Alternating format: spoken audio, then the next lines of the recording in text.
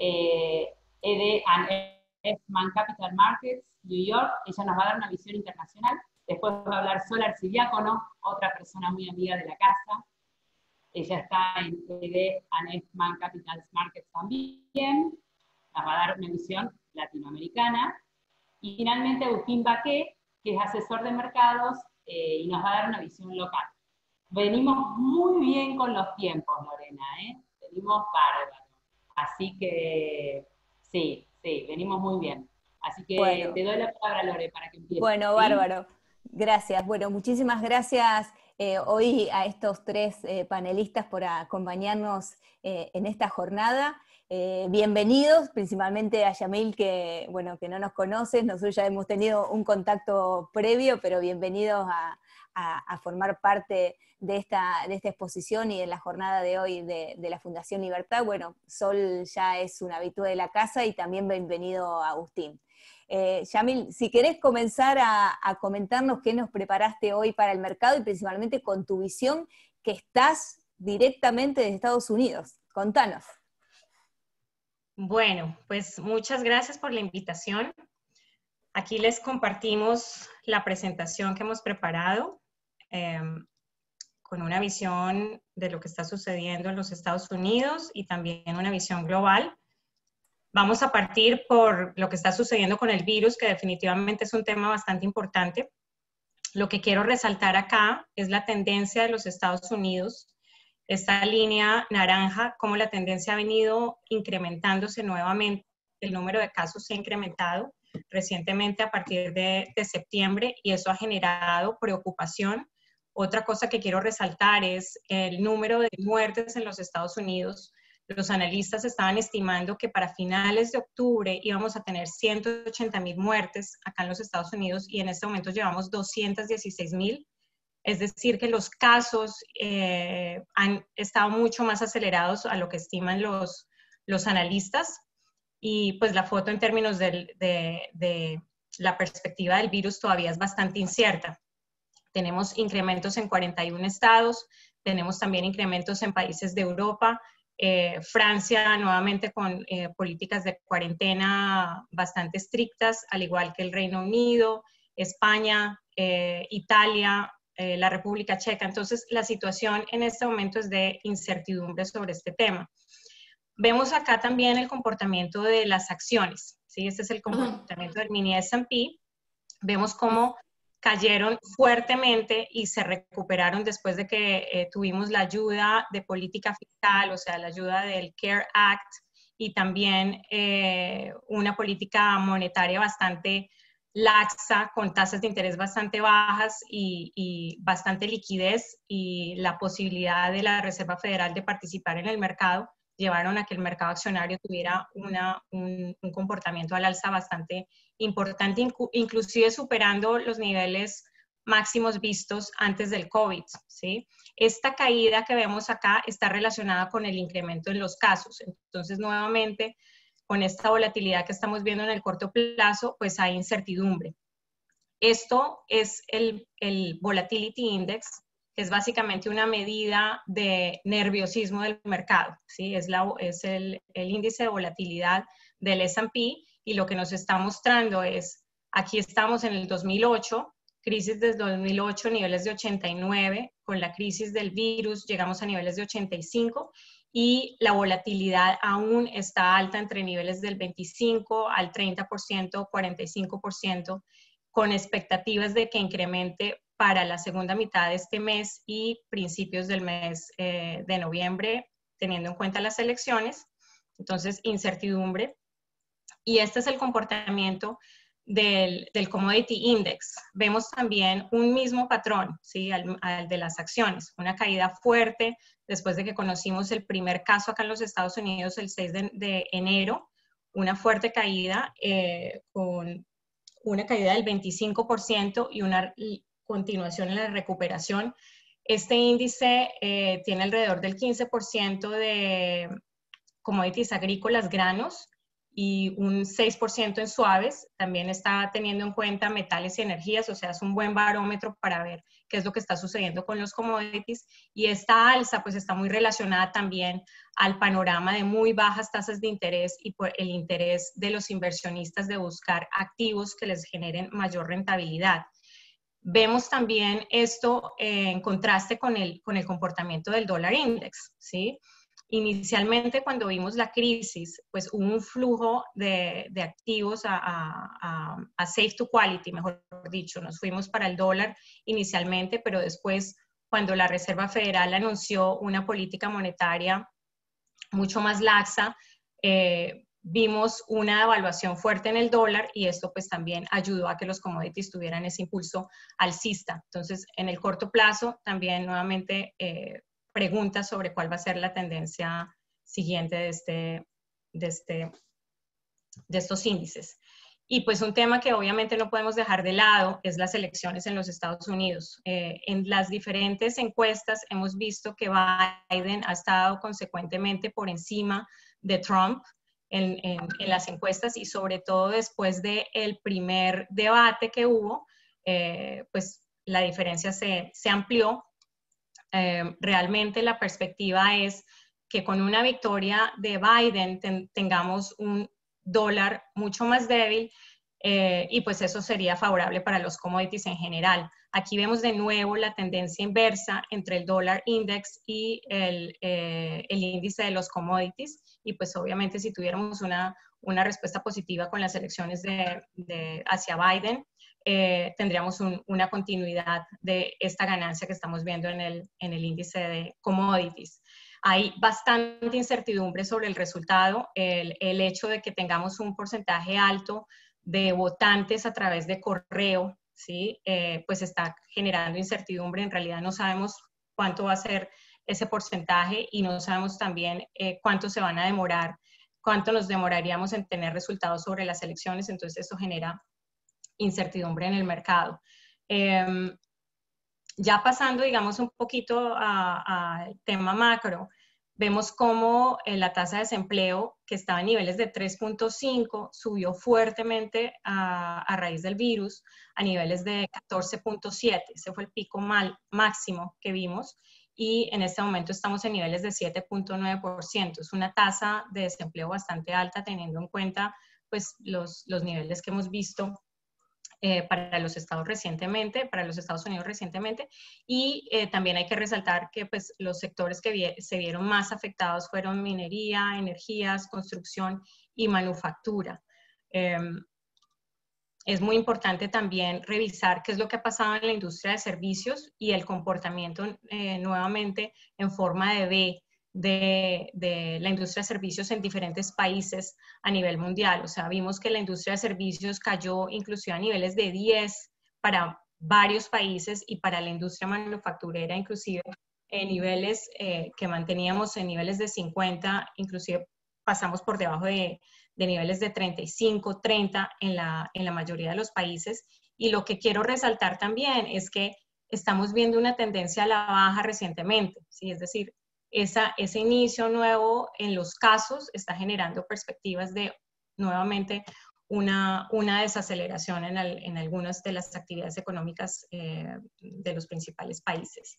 Pasamos ahora a conectando con, con, ese comportamiento tan fuerte que hemos visto en los commodities a raíz de, de una perspectiva de bajas tasas de interés y una oportunidad de inversión, vemos cómo los, cómo los fondos han participado activamente en, en los commodities y, y, pues inclusive, digamos, en el caso de la soya, estamos en niveles muy por encima de, de los últimos 10 años y muy por encima de, la estacionalidad de los últimos 5 años, que es la región eh, gris que estamos viendo acá, con niveles de una posición larga de 238 mil contratos al último reporte del Commitment of Traders.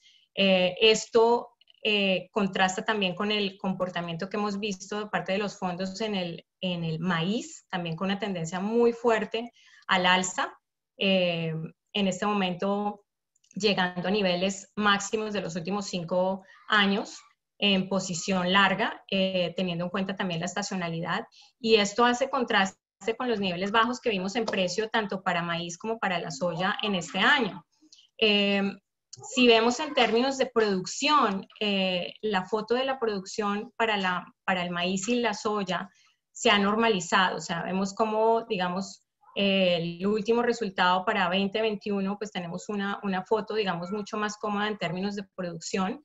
Em, sin embargo, algo muy importante a, notar es el comportamiento de la demanda. O sea, vemos una demanda bastante fuerte y de, eso vamos a hablar eh, en las siguientes presentaciones. Y esa demanda fuerte es eh, unido a todo este, este panorama que estamos viendo, pues es un, es un, es, es pone en perspectiva eh, el nivel de precios que estamos viendo en los mercados, ¿no?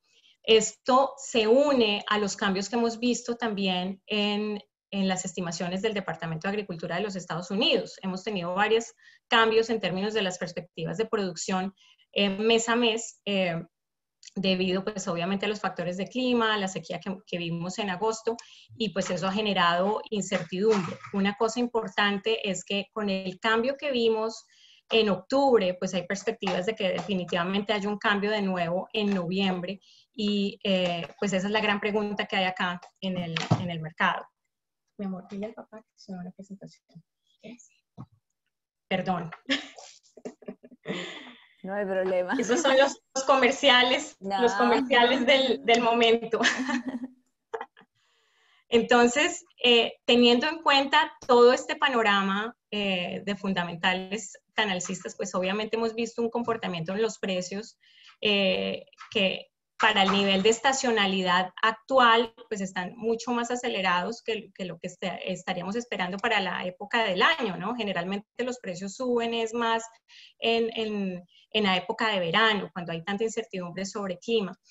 Eh, ahora lo que nos estamos preguntando, o sea, nos preguntábamos cuando estábamos en estos niveles, eh, tanto para la soya como para el maíz, y estos son los pisos, hablábamos, estos niveles son bajos, muy bajos, muy baratos, y ahora estamos en niveles techos que son bastante importantes y nos preguntamos si, si realmente llegamos a los techos o no. Eh, entonces, mirando en términos de lo que puede suceder eh, con el rendimiento, eh, en el reporte de noviembre, qué puede suceder con la producción, porque obviamente es una pregunta importante teniendo en cuenta los cambios y la perspectiva de inventarios más bajos.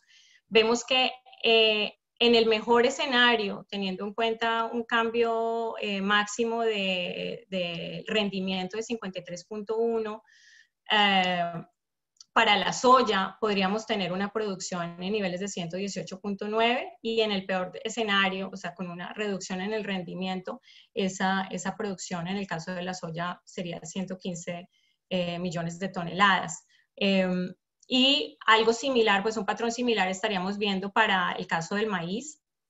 Entonces, pues esto, si lo, si lo unimos a la, a, la perspectiva de inventarios, pues en el caso de la soya es claro que tenemos inventarios bastante apretados y eso genera perspectivas obviamente alcistas en precio y nos preguntamos ahora que la foto, digamos, en, los Estados Unidos está un poco ya más cerrada, ¿qué va a suceder con la producción en Brasil y, Argentina?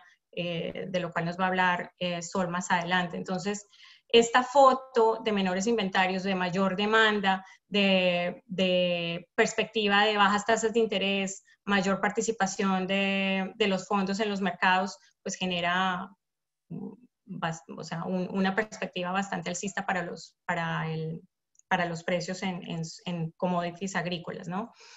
Em, aquí vemos claramente, eh, si vemos la, la, tasa de exportaciones frente a producción, cómo, cómo se ve la ausencia en el caso de la soya eh, de la China y vemos ahora cómo hay una recuperación importante.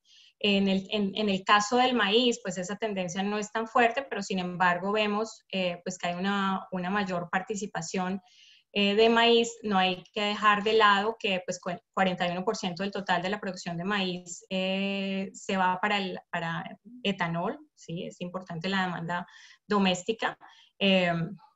Pero entonces, esto que está sucediendo con la, con, eh, con la demanda de soya eh, sobre la China, pues es, es un factor que, que, obviamente está también afectando el mercado del maíz, o sea, los dos están paralelamente relacionados, ¿no?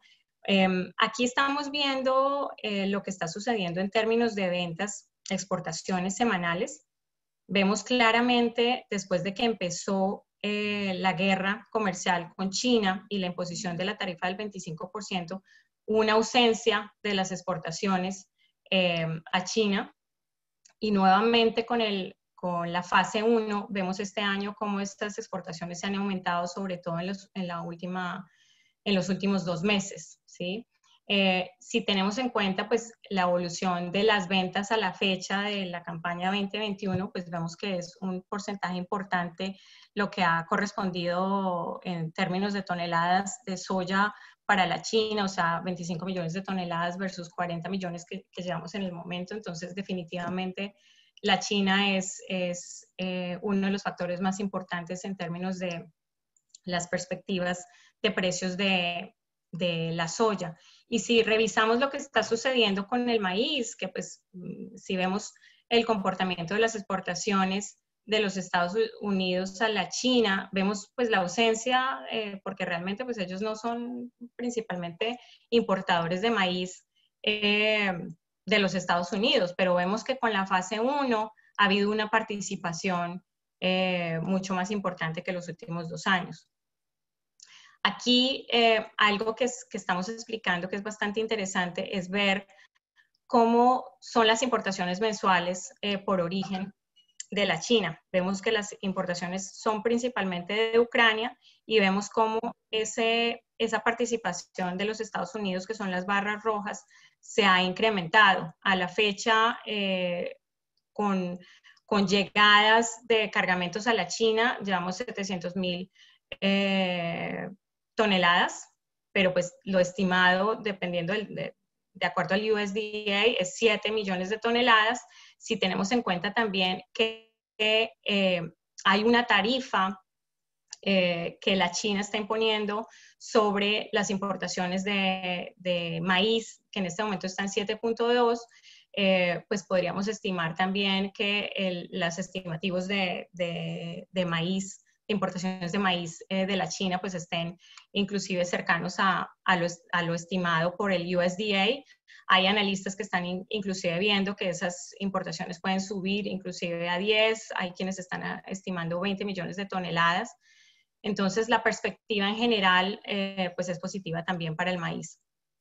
Acá vemos el comportamiento de las importaciones hasta agosto. ¿Sí? Y vemos que la expectativa para lo que es el 2020 pues es, también positiva teniendo en cuenta la tendencia de los eh, envíos de maíz a China de parte de los Estados Unidos. O sea, aquí se ve claramente que los últimos envíos, especialmente desde junio, pues han, sido, han superado inclusive los últimos 10 años. Entonces, eh, pues definitivamente apetito de parte de la China de todos los productos americanos, pues es claro en todos los números que estamos revisando.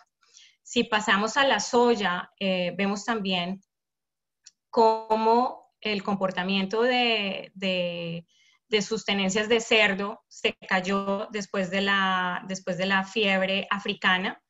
Han logrado recuperar el 30%, ¿sí? Y esto unido al comportamiento del margen de molienda, eh, pues pone una foto también alcista para este mercado. O sea, si vemos eh, la tendencia de, la molienda doméstica eh, de parte de la China, pues vemos que la tendencia ha estado entre 85 millones en los últimos tres años, 91, 99, y antes de esto inclusive era superior a los 99 millones de toneladas. Entonces, con esto, pues estamos eh, viendo que inclusive este, este dato puede ser superior a los 100 millones de toneladas y, de nuevo, es una foto alcista en términos de, demanda de parte de la soya, ¿no? Eh, si lo ponemos en perspectiva de acuerdo al nivel de inventarios, o sea, miren el nivel de inventarios actuales eh, de soya importada de la China, o sea, son, son niveles bastante altos, inclusive mirando los últimos cinco años. Entonces, la gran pregunta es, bueno, hasta dónde van a, comprar, o sea, cuánto más van a comprar, ¿sí? Y si vemos también eh, las importaciones mensuales, vemos cómo la participación de Brasil ha sido bastante importante y pues Sol nos va a explicar un poco más sobre cómo se ha comportado Brasil em, y las perspectivas de, de, lo que será eh, de las ventas de China de parte de Brasil em, para la siguiente campaña. O sea, hay bastante incertidumbre eh, sobre la niña. Ah, pensamos que también, pues, gran participación de las compras de la China, que hemos visto inclusive en los precios actuales, eh, tiene que ver también con el hecho de que la China quiere asegurarse de mantener un inventario bueno y eh, pues obviamente la perspectiva y la mayor participación que estamos esperando sobre este resultado pues va a ser principalmente Estados Unidos. Aquí vemos el comportamiento de precios y vemos cómo eh, los Estados Unidos y Brasil pues han estado, digamos, dando la pelea entre competitividad, quién ha sido el mejor, quién ha sido el, el, términos de precio, eh, dónde puede comprar la China, ¿no? La, la, cosa es que obviamente sin disponibilidad eh, de soya en Brasil, pues el único camino es comprar de los Estados Unidos, a pesar de que en este momento eh, los Estados Unidos están más caros que los precios de Brasil, según lo que estamos viendo. Y para terminar, algo que, pues, que es importante y cerrando también el tema de política, es el resultado de, del acuerdo comercial y la fase 1. ¿sí? En términos de, de, resultados, pues si vemos lo que ha pasado con la fase 1, o sea, llevamos solamente 9 mil millones de dólares versus 33 mil que estaban proyectados para el año calendario 2020. Entonces, pues hay un, o sea, realmente la pregunta de Purdue de si, si vamos a, a, cumplir con el, la fase 1, pues está fácil de responder. y ahora la gran pregunta que hay es, eh, ¿quién va a ganar las elecciones? ¿no? Si, si, Trump gana las elecciones, la expectativa es, y como lo, él lo ha mencionado, es que haya una política mucho más estricta y mayores tarifas o menor eh, friendly eh, con la China. Entonces eso podría generar, pues, digamos, un techo para el mercado. Em, si bien con estas perspectivas hay quienes hablan, acá tenemos el, precio de la soya, em, estamos llegando básicamente a niveles del 2018, estamos testeando estos, estos techos y, y de acuerdo a estas perspectivas eh, que estamos hablando acá, pues la perspectiva de que vayamos a niveles superiores a esto son bastante probables. Inclusive eh, hablando con la mesa Chicago que maneja farmers en todo el Midwest, ellos están diciendo que los eh, farmers en, en Estados Unidos están activamente vendiendo, aprovechando los precios de la soya no están necesariamente vendiendo maíz porque no tienen afán de vender maíz en este momento, están eh, muy contentos porque los niveles de, costo eh, con respecto a la soya para ellos están alrededor de 9.50, 9.60, mientras que con precios en niveles de 10.80, pues obviamente están todos muy felices. Eh, hay quienes hablan de 12, bueno, si estamos viendo niveles de inventarios eh, cercanos a los niveles de que vimos en 2016, puede ser. Vamos a ver qué nos dice Sol eh, con las perspectivas de, de producción en, en Brasil. Y, y, para cerrar, también la misma visión, estamos, o sea, una visión similar estamos viendo en el maíz, o sea, niveles de 4.10 muy cercanos estamos a esos niveles eh, el break-even o el nivel de equilibrio, el nivel de costo para los farmers está alrededor de 350, 360 para la zona de Illinois. Entonces, realmente pues son precios atractivos, pero hay quienes están esperando niveles de 440, farmers esperando niveles de 440. Entonces, eh, la, la, pregunta la vamos a hacer a Sol sobre si tendremos suficiente producción para, para sustentar toda esta demanda que estamos viendo. Muchas gracias. Bueno, muchísimas gracias, Yamil. La verdad que mucho aporte y justo estaban haciendo nota de, algunas preguntas, pero casi al final me las estuviste respondiendo. Pero bueno, vamos a ver si después envían, envían preguntas eh, para hacerte. Eh, muchas gracias. Bueno, Sol, si querés, todo tuyo para que puedas empezar eh, a darnos tu visión principalmente del mercado más cerquita.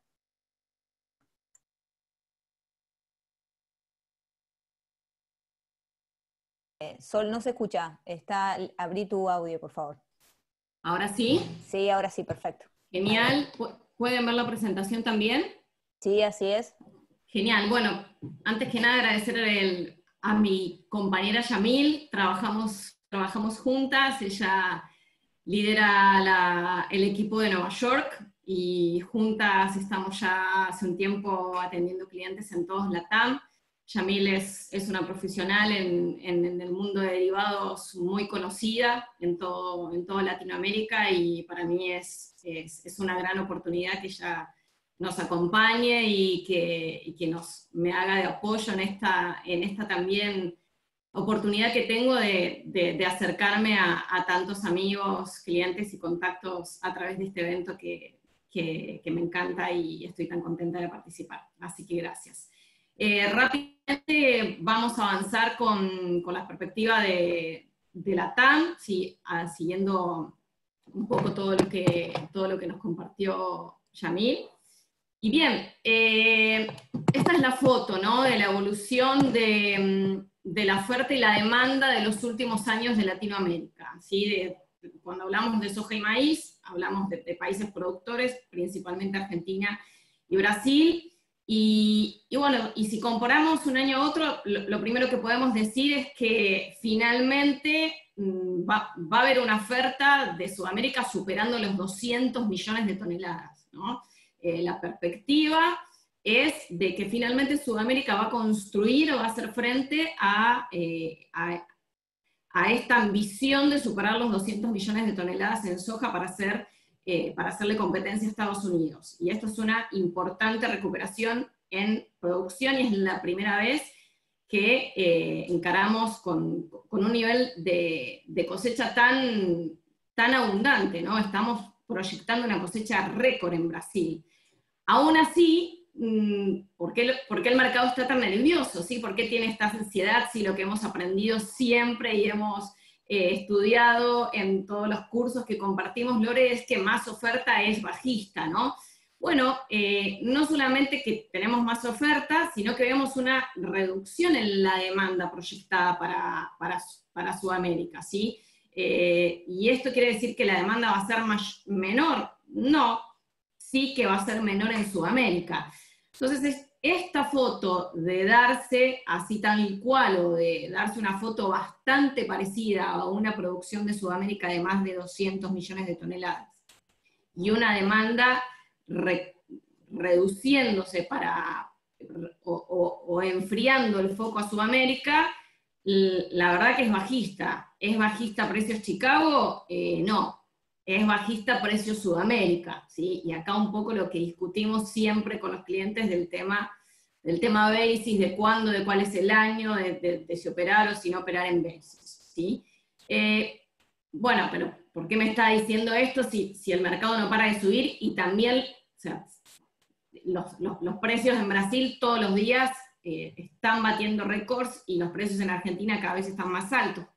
¿Por qué, estamos ¿Por qué me está diciendo esto? Bueno, porque hoy la foto es que no hay soja en Sudamérica, si Brasil se quedó sin stocks, todo esto es una promesa de oferta en la próxima campaña, es una promesa de oferta que cada vez se ve más lejana a través de la, de la demora en la siembra de Brasil. Y, eh, y no solamente eso, ¿sí? Eh, vemos que venimos de un año muy justo, ¿no? Fíjense que la demanda en el ciclo anterior, en el 19-20, fue récord, y esa fue eh, la razón mm, que hoy tengamos stocks tan, tan ajustados en, en Brasil. Con respecto a, a eh, la perspectiva es, es, es, interesante, es de, de un alza otra vez en, en rendimientos para Brasil, eh, sobre todo el foco está puesto en, en una recuperación de, de, lo que era la safrilla o la zafra de invierno, la cosecha de invierno que hacemos mención especial y ya lo separamos porque es un mundo aparte, la, cosecha de invierno de maíz es la cosecha que se vuelca en el, mercado externo, la que compite con Argentina, la que compite con, Estados Unidos, y eh, mientras que, bueno, la expectativa de luz otra vez es de una cosecha de rondando los 50 millones de toneladas para Argentina, como se comentó en el, en el, en el primer módulo, todo esto genera muchas dudas, recién estamos sembrando, eh, no llegamos a sembrar el 25%, con una demora, toda esta situación de la niña genera mucha ansiedad. Y sobre todo en soja, ¿no? Porque bueno, desde el comienzo de, este evento estamos hablando de China, de, otra vez, de, volver a hablar a la, de la voracidad china, ¿sí? De comprar de todo, decía Ivo, petróleo, azúcar, cacao, cebada, sorgo, ¿sí? Eh, China está comprando de todo y, obviamente cuando hablamos de China, eh, que es el, más del 60% de la demanda de soja, eh, vemos cómo se ha, se ha reflejado en los precios internacionales, como, como comentó Yamil, ¿no? Y, y bueno, hay esa ansiedad que tiene hoy el mercado porque el único lugar donde hay soja disponible es Estados Unidos. Pero bueno, ¿hasta cuándo?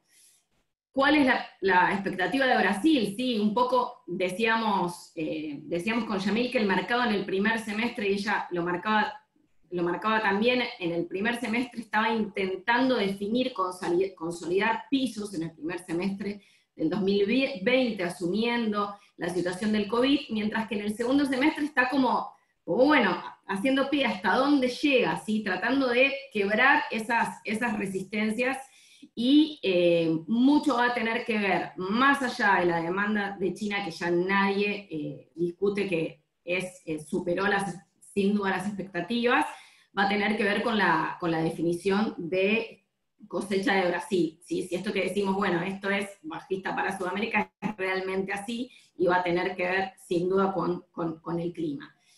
Y el desafío es grande, ¿sí? estamos en, pleno momento de siembra, ¿sí? estamos en, pleno progreso de siembra en, Brasil, eh, en, una primavera austral signada por, por la niña, no, no, me quiero extender mucho en tema climático porque después tenemos un, un, módulo específico, pero bueno, la niña que teníamos tantas dudas, hoy es, es un hecho. Y la niña significa que eh, tenemos una primavera en general con lluvias menores a, lo, normal, al promedio, y eso es la foto que tiene el mercado no, hoy, ¿no? Esa ansiedad, ese nerviosismo de, una primavera con, con, menos lluvias y sobre todo en esta primera mitad de la primavera, ¿no? Septiembre, octubre. La verdad es que la, cosa en, en el trimestre clave cambia bastante, con lo cual da alguna mm, señal, alguna luz mm, verde, ¿sí? para quienes todavía hablan de Brasil arriba de 130 millones de toneladas. Quiero decirles que eh, todas las consultoras en Brasil confirman esta proyección, ¿sí? Hay un y esta proyección de arriba de 130 millones de toneladas está basada en un leve aumento del área de 3%, pero en un leve en un aumento de 7% en los rendimientos, con lo cual aún en un año niña, con esta foto de que en el verano, en el momento de definición de rendimientos, va a llover en Brasil, por ahora, por el momento, son todos optimistas en cuanto a la definición de, cosecha. Y esto tiene que ver, es, muy bueno este, este gráfico de nuestro equipo de inteligencia de mercado, Acá estamos comparando la variabilidad de rendimiento ¿sí? de los últimos 20 años y resaltando los años niña que ha tenido Brasil y Argentina, ¿sí? la evolución. Y vemos como Argentina es mucho más susceptible, mucho más vulnerable a, la performance productiva en un año niña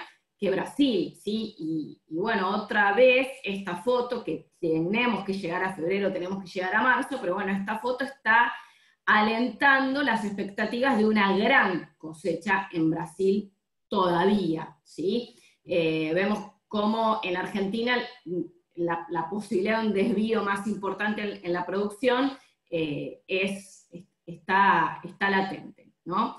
Y sobre todo, este desvío, importante en la producción en Brasil lo hemos concentrado en el sur, en la zona sur de Brasil, lo vimos también reflejado en los mapas, y esta zona es muy importante, ¿sí? porque eh, puede, puede, llegar a tener una reducción del 28% de, sus rendimientos, como pasó en el año 11-12, fue el peor escenario, aunque también hemos, hemos tenido campañas más livianas de, de niñas no tan eh, no tan dañinas como fue el 10-11, con lo cual hay mucha tensión en el mercado y mucha tensión, ¿sí?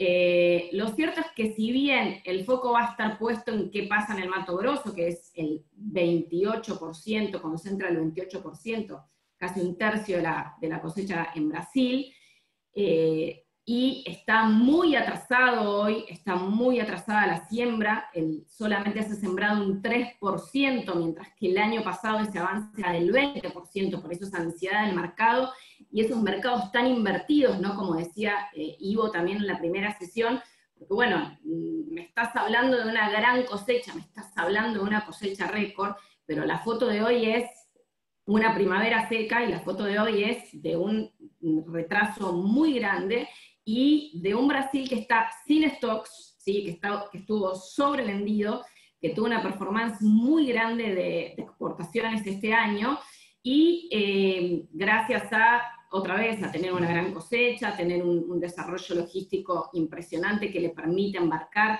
14, 15 millones de toneladas por mes, que es impresionante, ¿sí? por mes 14 millones, 5 millones de toneladas por semana.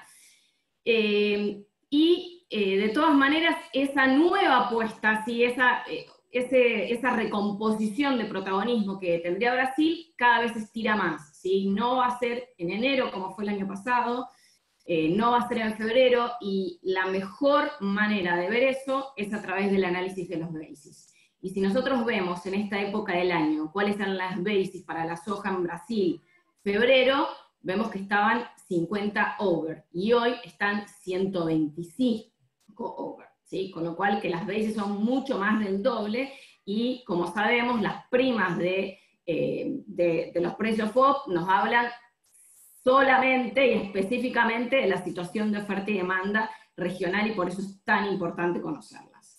Como decíamos, noviembre trae muchas mm, mejores noticias para los productores del Mato Grosso, ¿sí? por eso también los farmers en Estados Unidos, como decía Yamil, están aprovechando esta oportunidad. Es un frenesí que está teniendo China con Estados Unidos todos los días comprando, precios soñados.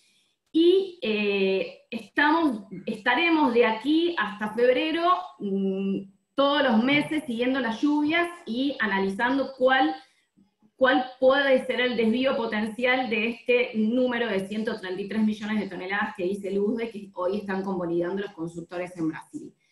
¿Cuál es el peor escenario? ¿Sí? ¿Cuál es la foto que podemos apuntar?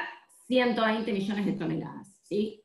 Hizo un análisis súper interesante nuestro, nuestro equipo de inteligencia de mercado, al, que agradezco tanto que nos haya ayudado a mí a Yamil en, en, estas, en estas presentaciones pero bueno, a ver, es un año niño. ¿Qué es lo peor que le puede pasar a Brasil?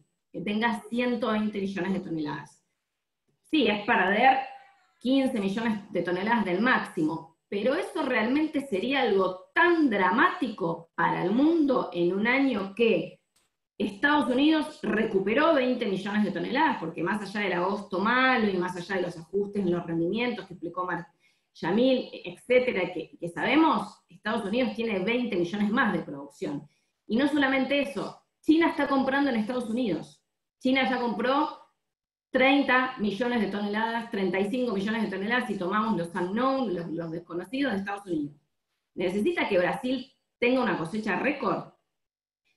Bueno, todos los que estamos, los que estamos escuchando es que sí, que China tiene una voracidad, que recuperó, que está recuperando rebaño, pero bueno, los stocks son altos, quizás se está anticipando, y realmente una definición de una buena cosecha, porque 125 millones de toneladas sería todavía una buena cosecha en Brasil, la verdad es que China no le cambiaría tanto la historia habiendo vuelto a comprar en Estados Unidos. ¿sí? Entonces, bueno, ya para resumir, sí es desafiante el tema del farmer selling, que también lo mencionó Ivor, el, el, eh, Ivo, el, el productor brasilero tiene vendido más del 50% de la cosecha, que está sembrando tarde ahora, o sea, no es que está sembrando contento, pero ya la vendió.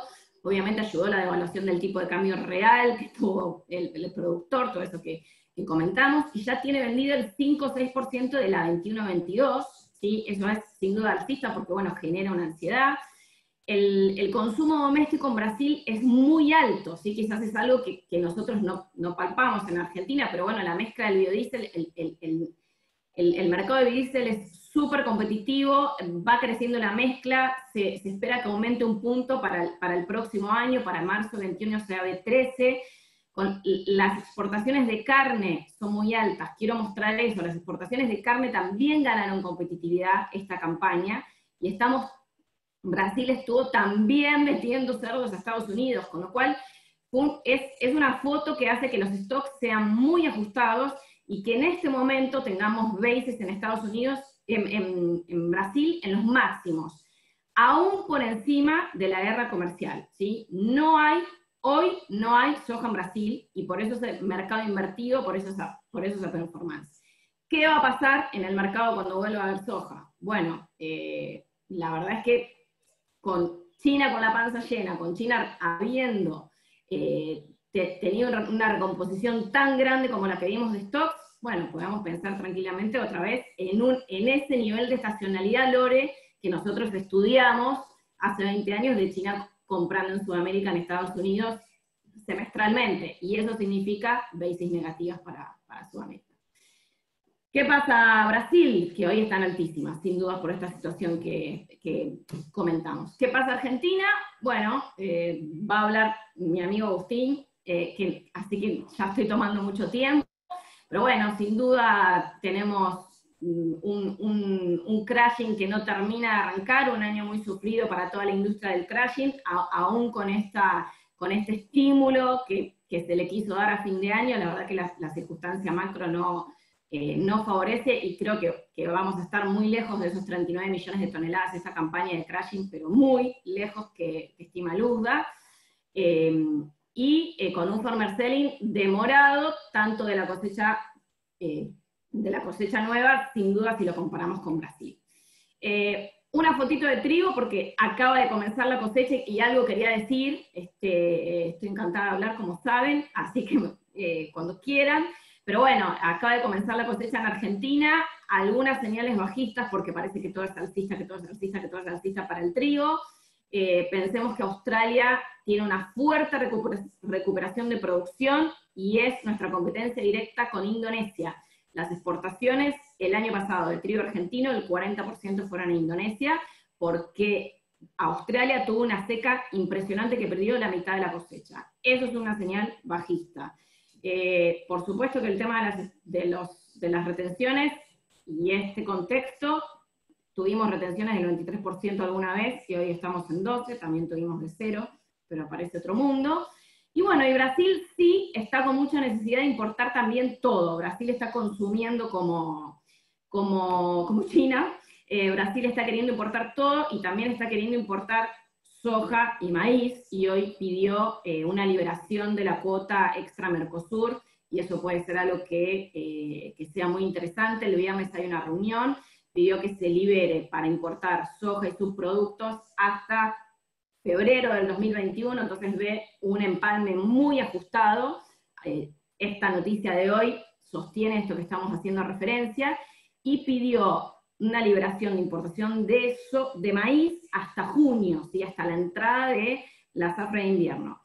Obviamente esto tiene que ver, no, lo puse, pero es una realidad del vínculo bilateral Bolsonaro-Fernández, Argentina-Brasil, y sobre todo si gana Trump, ¿sí? es como que Bolsonaro se sentiría recontra convalidada ¿sí?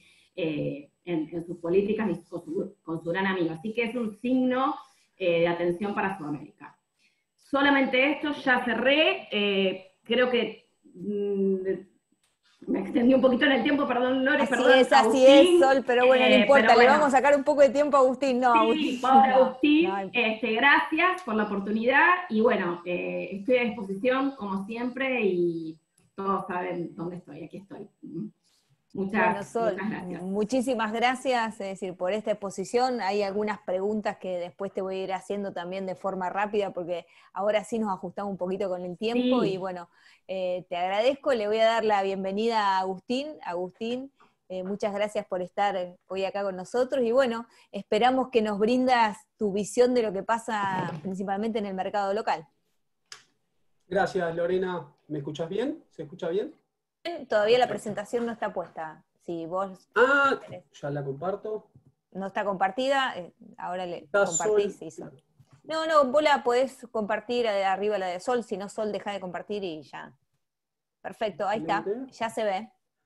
Bien, bueno, muchas gracias, Lorena y muchas gracias ahí al equipo de la Fundación por, la oportunidad. La verdad que es, un honor poder estar en este evento. Y bueno, un poco de la mano de lo que dijeron Yamil y, Sol, es tratar de bajar un poco a tierra a Argentina y a la decisión del productor, eh, qué es lo que estamos viendo o en qué situación estamos hoy. Eh, y bueno, voy a arrancar un poquito hablando de lo que ya también se habló anteriormente, que es qué está pasando con el dólar, el tema de, la brecha cambiaria, que este gráfico muy interesante muestra cómo los años de resultado primario negativo, la brecha, y obviamente con control de cambios, eh, cómo esto suele impactar en, las cotizaciones del dólar. Hoy estamos ya en una brecha cercana al 100%, y eso obviamente tiene un impacto en la decisión no solamente en este caso del productor, que, es el público que está hoy acá, sino del, público inversor en general, porque obviamente cuando uno tiene que tomar una decisión de inversión en este escenario, realmente eh, en una economía que está muy dolarizada como la nuestra o que piensa en dólares todo el tiempo, la verdad que es un factor que, bueno, que impacta mucho y que creo que tiene en este momento una influencia muy grande en lo que es el farmer selling en Argentina, porque el productor no vende o porque el productor no capta estos precios y yo creo que acá eh, hay un factor muy, muy importante. El otro dato, bueno, le, robé el gráfico a Sol y al equipo de ADF, que es excelente, el, equipo de research. Bueno, se ve otra vez lo mismo, hacer hincapié en cómo caen los rendimientos, sobre todo en Argentina, en lo que es maíz y soja, los años niña, que son acá lo que yo marco en rojo. En trigo no tiene tanto impacto, este año sí, particularmente, pero ¿por qué esto es importante? Porque a lo que decía anteriormente, un, escenario de incertidumbre desde lo, desde lo económico, se suma ahora una incertidumbre climática. Hay varias regiones que también ya lo fueron diciendo, Córdoba, parte de Santa Fe, con, problemas para el inicio de la siembra por falta de humedad.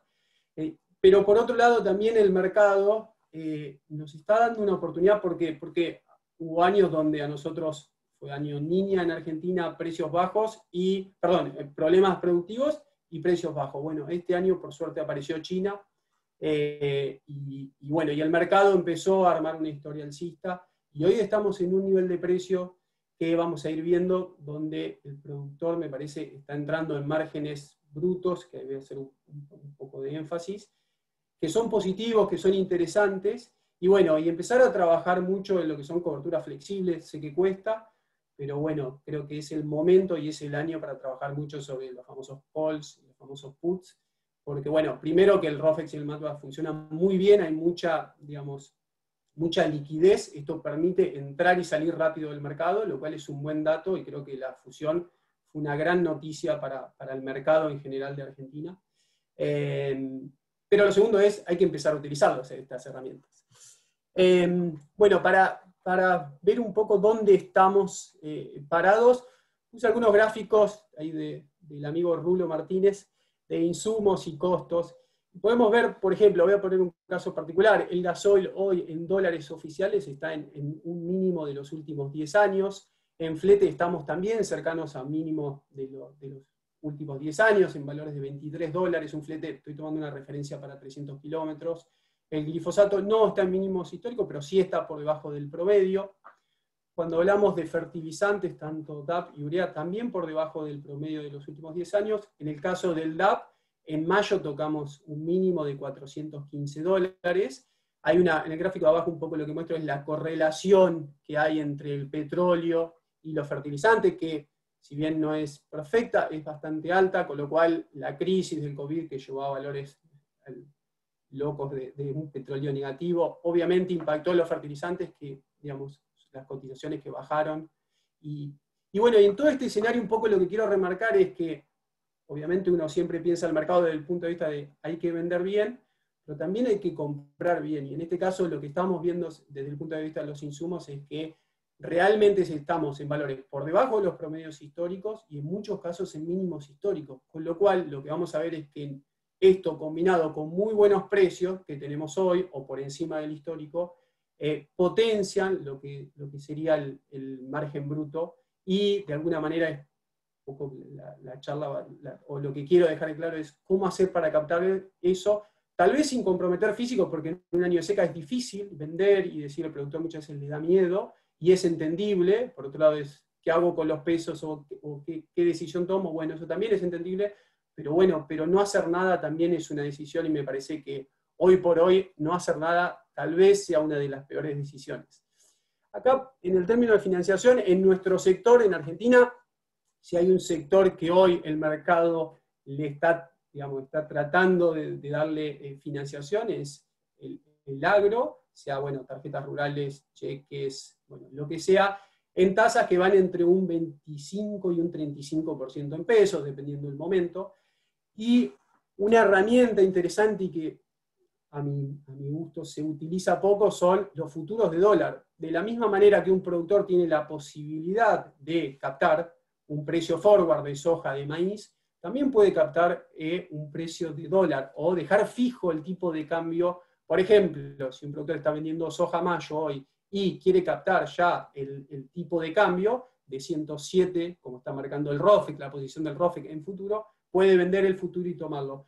¿Por qué lo tomaría? Y bueno, por ejemplo, si hoy un productor se financia a cosecha a pagar con soja, una tasa del 30, 30% anualizada para poner un ejemplo, y está vendiendo un dólar de 107,50, está tomando una devaluación del 69%, casi, casi el 70%, con lo cual está tomando una tasa negativa. Alguien me puede decir, bueno, Agustín, perfecto, pero todos estamos esperando un escenario de devaluación del tipo de cambio oficial. Sí, todo lo, es cierto que lo esperamos, pero no necesariamente significa que el gobierno argentino lo vaya a hacer. Y bueno, creo que los factores, digamos, sobran los motivos para pensar que no lo va a hacer, en el sentido de, bueno, una política particular. Pero más allá de eso, digo, si vamos a poner el ejemplo, un productor vende la soja y ya quiere calzar esa financiación con este tipo de cambio de 107,50, vende el futuro.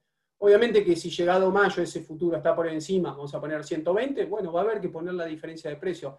Pero hoy tengo la posibilidad, tomando una tasa del 30% y, eh, en pesos y vendiendo una devaluación de casi el 70%, tomar una tasa negativa en el orden del 35-38%, con lo cual es una herramienta que está que me parece que es interesante utilizarla. Y en todo caso, si el mercado va arriba de 120, bueno, pondré la diferencia, dejé de ganar, digamos, más tasa negativa, pero el otro escenario es qué pasa si el gobierno mantiene esta política de evaluación bastante continua, que está en niveles del 35-37%, y bueno, en ese caso le voy a estar ganando un 35% de tasa. Me parece interesante, es una herramienta de vuelta que se utiliza poco, pero que hay que tener en cuenta porque porque no solamente hoy cuando te ofrecen una tasa en pesos del 30-35%, parece muy atractiva, bueno, siempre y cuando de vuelta el gobierno devalúe. En esta tasa de evaluación también voy a tomar una tasa a tasa cero en dólares, pero hoy tengo la posibilidad de captar una tasa negativa.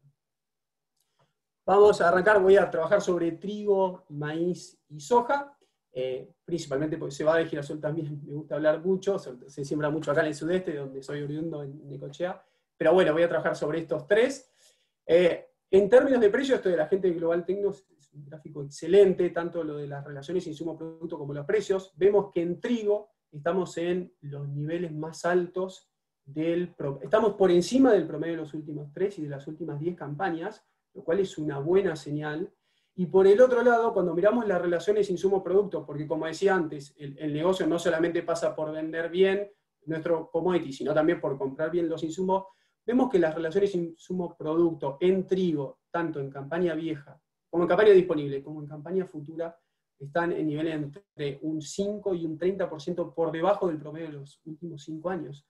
Con lo cual, hoy ese productor que dice, bueno, pará, vendo trigo disponible que lo traje hasta acá, pero ¿qué hago de alguna manera con los pesos? Porque, digamos, si me quedo con muchos pesos y, en un momento el mercado me devalúa, eh, digamos, pierdo poder adquisitivo. Bueno, una, creo que una de las herramientas para sumar es, obviamente, los canjes. Y creo que el que esté aplicando o esté pensando en hacer algo así, no se va a equivocar porque, digamos, los datos lo, muestran claramente.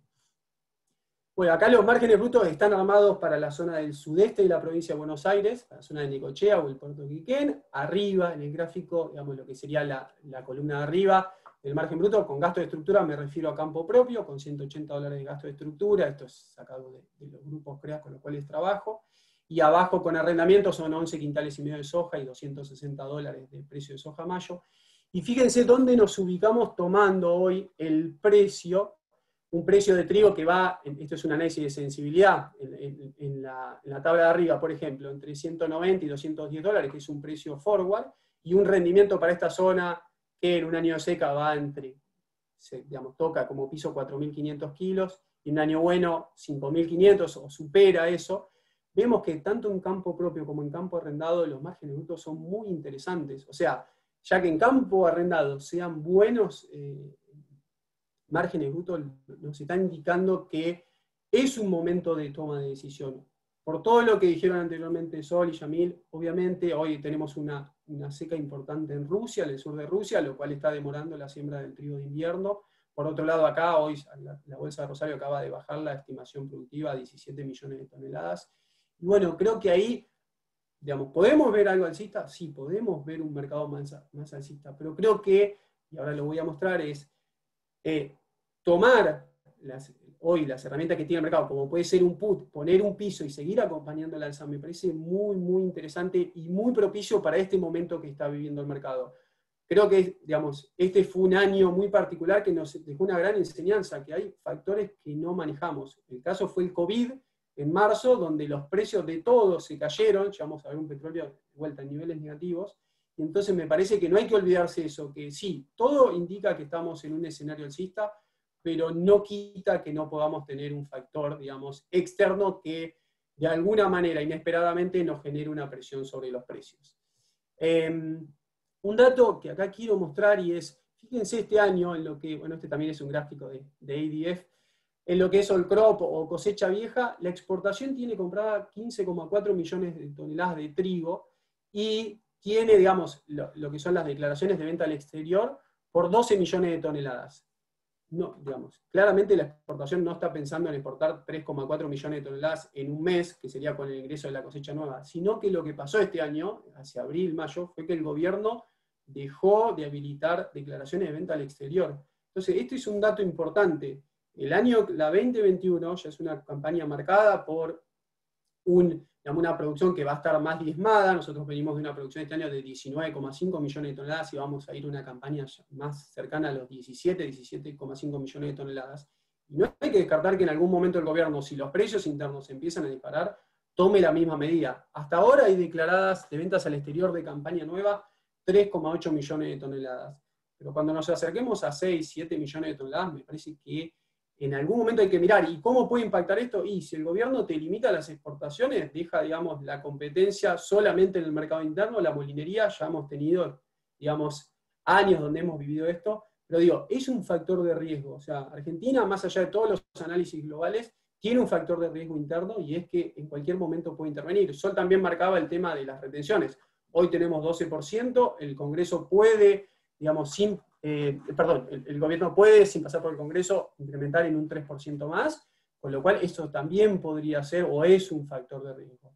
Y bueno, creo que en ese contexto eh, las opciones son una gran herramienta, tanto para aquel que quiera vender, que diga, bueno, a mí me gustan estos precios, quiero captar el margen bruto, pero no quiero quedar, digamos, si hay una alza en el mercado, quiero participar. Bueno, por ejemplo, hoy, esto cotizó hoy, un call de 237 dólares marzo del año que viene, con 4 dólares y medio de prima. Está bien, me estoy cubriendo arriba de una suba de 240 dólares y estoy vendiendo un trigo marzo por ahí en niveles de, no sé, 205, 210 dólares. Pero bueno, claramente las opciones te cubren ante un eventual, digamos, ante un, ante un hecho muy dramático, que no digo que no pueda pasar, pero que me parece que, obviamente, que no es un obviamente que uno se puede cubrir mucho más cerca del precio en el cual está vendiendo, a invertir mucho más plata, pero creo que tener algún tipo de cobertura en este escenario, que también puede ser explosivo al alza, eh, me parece que, es muy, muy interesante. Y del lado de los puts, que a mí hoy por hoy es la estrategia que más me, me gusta en trigo, sin comprometer el físico, tomo por ahí un put de, no sé, 185 dólares o 189 dólares, gasto 5 dólares, y me estoy poniendo un piso cercano a los 184 dólares. Con lo cual me estoy asegurando un margen bruto positivo y no estoy comprometiendo el físico. Y si el mercado sube, y, digamos, y ojalá que pase, no porque en Argentina no llueve, porque pase lo que pase, porque China sigue comprando, por cualquier factor positivo, yo de alguna manera dormí tranquilo, estuve tranquilo y, digamos, acompañé al alza. Por eso digo, es difícil, cuesta mucho, yo asesoro casi 40 empresas hoy por hoy, me cuesta mucho, pero bueno, es algo, es una herramienta que tenemos que utilizar. De la misma manera que contratamos un seguro de granizo de, no sé, de sequía o de lo que sea, me parece que tener un seguro de precios es, en este escenario de precios altos es una herramienta que, que hay que utilizar. Yendo al maíz, bueno, misma situación casi que en trigo, estamos tanto en el precio disponible como en el precio futuro, en precios, digamos, en niveles por encima del promedio de las últimas tres y de las últimas diez campañas, relaciones insumo-producto también muy, muy atractivas, con niveles que van entre un 10% y un 40%, dependiendo, digamos, bueno, ahí estamos hablando flete, gasoil, glifosato, urea y, DAP. En todos los casos estamos en relaciones eh, insumo-producto muy por debajo del promedio de los últimos cinco años. Y esto de vuelta es una muy buena señal. Y, creo que para aquel que esté pensando en vendo, pero ¿qué hago? Bueno, una buena decisión de vuelta, como decía en trigo, puede ser calzarse en insumos. Los márgenes brutos para esta zona, para el sudeste, tomando un rango de precio que va entre 150 y 180 dólares, dependiendo de la posición, y rindes que para esta zona van entre 7 y 9 mil kilos para un suelo profundo. Fíjense también, los márgenes brutos muy interesantes, el, nivel de rendimiento de la inversión, en, visto en el cuadro de la derecha, te va entre un 8% y un 57%, digamos, si el precio toca 180 y tenés 9.000 kilos.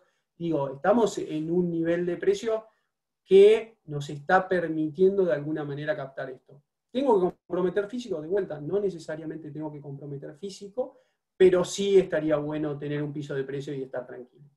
En comercialización, para mí lo más destacado es el ritmo exportador o el, farmer selling en campaña vieja, 76% ya del, del, maíz vendido. Ucrania con una producción que, bueno, solo decía un poco, bueno, el USDA la pone en 36 millones y medio de toneladas y no, digamos, los analistas privados hablan de 32 millones de toneladas, es el tercer exportador a nivel mundial. Brasil con una demanda interna muy grande y encima esta noticia que nos comentaba Sol de que está pensando en abrir una cuota para importación de maíz, con lo cual, digamos, el mercado está muy volcado hoy a Estados Unidos y Argentina, que vino abasteciendo bien hasta estos meses, me parece que de acá hasta marzo o abril que ingrese la nueva cosecha, que encima se está demorando en cuanto a la siembra y no está en las mejores condiciones, parece que hay un partido largo que es interesante que el precio puede seguir subiendo, pero de vuelta, el maíz, y creo que Yamil lo decía, el maíz tiene un componente energético muy grande, 40% en Estados Unidos se consume para etanol, y si, el, eh, digamos, por algún evento, no sé, segunda ola de COVID, el precio, digamos, la demanda empieza a retraerse y el petróleo baja, eso va a tener un impacto negativo muy importante en los precios, que ya los vimos. Entonces digo, en este escenario de vuelta, comprar put y esperar el mercado al alza me parece que es muy, muy interesante. En campaña nueva el ritmo de comercialización viene bien, creo que el productor está tratando de captar estos márgenes brutos muy interesantes, como lo, lo marcaba anteriormente. Y acá un poco para cerrar el maíz, de vuelta, coberturas interesantes. Hoy un put en el MATUA de 149 dólares, gastando 3 dólares de prima, me permite ponerme un piso a niveles de 145 dólares. Eh, de vuelta, eh, puedo digamos, seguir especulando al alza o seguir esperando un alza, pero ya con un piso de precio más que interesante. No olvidemos que hace tres meses el precio del maíz estaba en niveles de 120, 130 dólares y parecía que no iba a haber una recuperación. De vuelta, hay potencial alcista, hay potencial alcista en trigo y maíz, pero me parece que de vuelta hay que trabajar sobre esto. Y para el que quiera vender, pero no quedarse también o no, no dejar de participar en la suba, de vuelta, me parece que un call, más allá de que nos cubra en niveles altos, por ejemplo, el call de 193 con 5 dólares y medio, estoy cubriendo arriba de 198 dólares, bueno, sí, pero si China, como dicen muchos, abre la cuota de importación por más de, 20, de 7 millones de toneladas y llega a 20, el mercado tiene potencial de suba. Vamos a soja. En soja, bueno, en campaña, en, lo que es campaña vieja, sí los precios están por encima del promedio de los últimos 3 y los últimos 10 años. En campaña nueva todavía no, pero también las relaciones insumo-productos muy interesantes en niveles muy por debajo del promedio de los últimos 5 años. Los márgenes brutos, bueno, en el sudeste La soja le cuesta más porque acá, bueno, hace más frío, entonces los márgenes brutos no son tan atractivos y le cuesta competir mucho con el girasol, pero de todas maneras estamos en niveles que hasta en campo arrendado, una soja con 2.500 kilos o 3.000 kilos, defendés el número. Em, el Farmer Selling viene lento, acá creo que el productor a la, soja la siente más como un resguardo de valor y por eso, digamos, sobre todo en campaña vieja, no vende y es entendible, yo me pongo en los zapatos de un productor y es, vendo, me quedo con pesos y ¿qué hago? Bueno, un poco puede ser esto que hablaba, insumos, eh, no sé, pero digo, eh, eh, ahí es donde se explica un poco esto. de todas maneras, el mercado tiene potencial de suba, ya estamos en niveles muy altos, sobre todo en campaña vieja, en campaña nueva está todo por decidirse, dependiendo del clima en, en Sudamérica, como decía Sol, y de cómo continúa China pero ahí creo que acá también en campaña vieja tenemos niveles de cobertura flexibles muy, pero muy interesantes. Es acá lo marco, por ejemplo, un put de 297 dólares con 5 dólares de prima me permite a mí tomar un piso de 292 dólares, que es un precio excelente. Por lo menos me quedo cubierto hasta el 15 de diciembre y paso todo el mercado climático de Sudamérica con un piso de precios. Ojalá de vuelta, digamos, no porque no llueva, sino por otros factores el, precio siga subiendo, pero de, algún manera, de algún modo me parece que tener este tipo de herramientas con un mercado tan, digamos, tan líquido como está hoy el mato arroz es, es, excelente. Así que bueno, les agradezco, traté de ser lo más corto posible y de ir bien al grano. Eh, así que bueno, muchas gracias Lorena. Bueno, Agustín, muchísimas gracias. La verdad que estamos ya un poco excedidos de tiempo, pero voy a hacer dos preguntas rápido, pero que me tienen que contestar así. Agustín, tengo una pregunta que me, dicen si es posible que eh, la suba de la soja enero puede arrastrar hasta la soja mayo, es decir, que el empalme de la cosecha se produzca más arriba, vos como lo ves, de acuerdo un poco a la expectativa que, contó Yamil y bueno, que también mencionaba Sol. ¿Cómo ves ese, Hay, hay un inverso muy grande, realmente muy grande, 300, creo que vale 315 dólares, hoy cerró el, el, el futuro contra una soja nueva que vale 270 Va a depender mucho. Hoy el problema es que Brasil no tiene stock, Argentina no vende y Estados Unidos es el único oferente. Y en campaña nueva, a ver, si mañana llueven 100 milímetros en Brasil o en Argentina, la soja nueva tranquilamente se puede pinchar y la disponible mantenerse. Yo no estoy tan seguro y no jugaría ese pase a, a que se achique. Me parece que lo dejaría pasar Probablemente si el, clima en Sudamérica se complica, sí se debería en algún momento acortar, pero no, me parece que hay una situación muy particular y no jugaría en contra de ese, ese pase. Bárbaro, muchísimas gracias. Voy a aprovechar que Yamil está desde allá y voy a tomar y le voy a hacer una pregunta. Eh, Yamil, vos mencionaste decir que eh, la expectativa o lo que el mercado de Estados Unidos está mostrando que en noviembre puede seguir ajustando eh, los números. Entonces, eh, vos con ese ajuste que ves con respecto a rinde y a producción, eh, hace que el maíz y la soja tenga perspectiva de, seguir subiendo y hasta cuándo?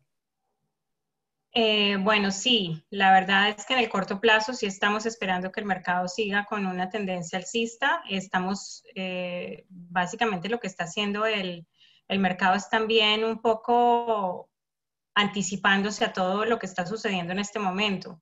Entonces, con la perspectiva más hacia, o sea, en realidad los rendimientos están eh, por todos los lados, o sea, hay números en todos los lados, rangos eh, bastante, bastante dispersos, pero la expectativa que nosotros tenemos es que haya una reducción en el rendimiento y una reducción en la producción que nos deja con la foto un poco alcista eh, para, la, para lo que es los Estados Unidos. Entonces, em, la pregunta va a ser, o sea, hasta que no tengamos una respuesta de lo que va a suceder con, Brasil, en realidad el mercado en este momento pues no tiene un factor eh, bajista fuerte, ¿sí? La gran pregunta es lo que pueda suceder con las elecciones, o sea, esa es, esa es la incertidumbre principal que tenemos ahorita y lo que puedan hacer los fondos ahora que están con posiciones largas bastante altas. Entonces, eh, es un, es, un, es un, par de semanas o tres semanas de, de, bastante incertidumbre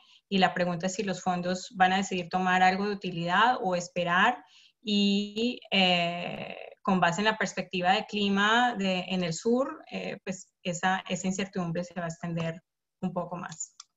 Bueno, muchísimas gracias eh, a, los tres por eh, participar eh, en este panel. muy interesante toda la información. Disculpen que haya sido todo muy apurado, que yo les haya dicho del tiempo, pero bueno, nos quedan todavía algunas presentaciones y bueno, le doy a Ana la palabra para que pueda presentar a Cristian.